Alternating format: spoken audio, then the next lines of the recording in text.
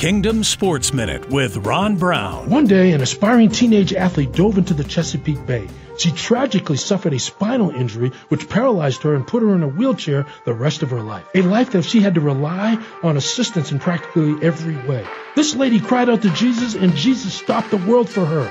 Little did she know that what lied ahead was a fantastic ministry to those bound in physical trauma worldwide. This amazing lady, Joni Eareckson Tada came to address our Nebraska football team.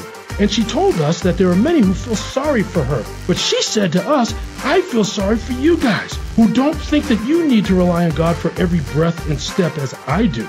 She relies on God for people to move her, feed her, change her, for God to have her paint with her mouth, sing, and teach the Bible at a high level. Romans 8.31 says, if God is for us, who could be against us? Yup, she got Jesus. Who we got? Visit kingdomsports.online.